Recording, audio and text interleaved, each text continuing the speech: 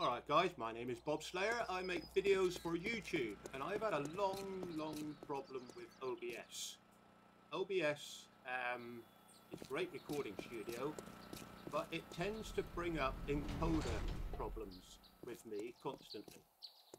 Um, I'm trying to record OBS now to see if I get an encoder problem.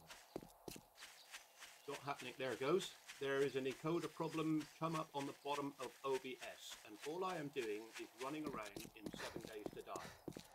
Problem is coming up to the very bottom of OBS. It says uh, encoder overload, consider turning down your graphics. Now that's bullshit. OBS is actually lying. It's not an encoder overload. OBS doesn't know what it is. So it's chucking up a random message. Now what I've found is um, I've had this problem now for years. Um, I've even bought, even built a new PC.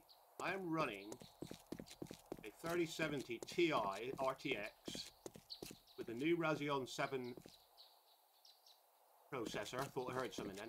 Um, 32 gig of Vengeance RAM, and I'm still getting encoder problems on OBS. Now, I didn't think that could be possible after building a new machine, twice the power. I'm getting 60 frames per second, yet OBS is coming up with encoder problem.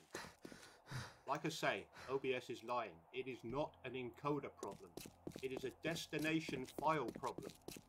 Now, if you record your videos onto an external drive or a different drive, I was recording on uh, SSD external drive, 2 terabyte. There it is, it's flashing up again. OBS is having a problem. Now, the way to cure that is not change the destination folder in OBS. Let OBS record your videos to C users, whoever it is, my videos.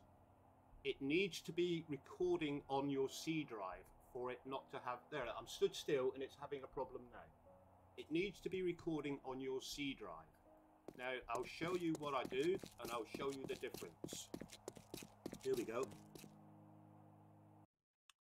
Okay, so we're back in OBS. We're, uh, I know I've got plenty of screens up here, but uh, people that, there, I'm, all I'm doing is talking, and it's coming up with encoder warning.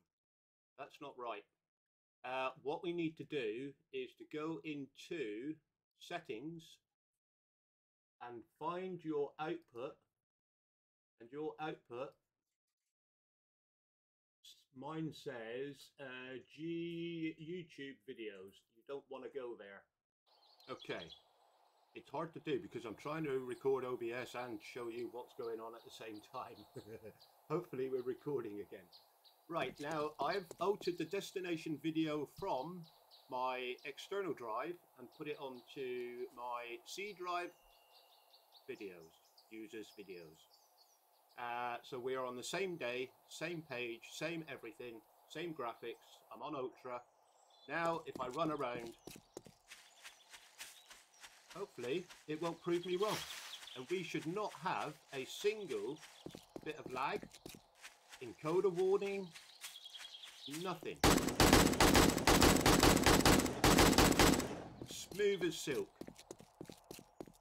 There is not warning coming up on OBS. Now, OBS said it was an encoder problem. Like I say, it is not an encoder problem. It was, for me, a destination file problem. And I'm sure that would probably be a lot of other people's problems. Because obviously we like to um, not fill our C drive up with videos. We want to put them onto a different drive.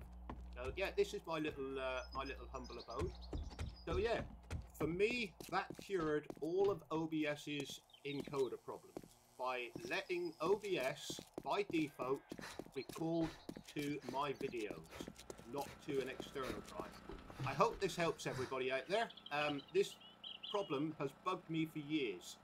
Years and years. I've even upgraded my whole PC uh, to be pretty top middle range and I'm still getting the same problem. Until I change my destination folder, I can move it from there to where I want to go. But as you can see, OBS has not chucked up a single warning since I changed the destination folder. Nothing to do with the encoder. like I say, I've got an RTX 3070 Ti. The encoder on that is built for this job. So OBS is actually telling a lie. It doesn't know what the problem is, so it's just chucking up a random message, encoder problem. Don't believe it is always your encoder. It could be simple fact that it can't get the information onto your drive quick enough, so it will chuck up an encoder problem. I've been Bob Slayer, you've been watching, hope that helps you out, it certainly helped me out, and uh, I have cured my lag on OBS and my encoder problem just by moving my destination file closer to OBS rather than further away. See you all in game. Catch you later. Bye bye for now.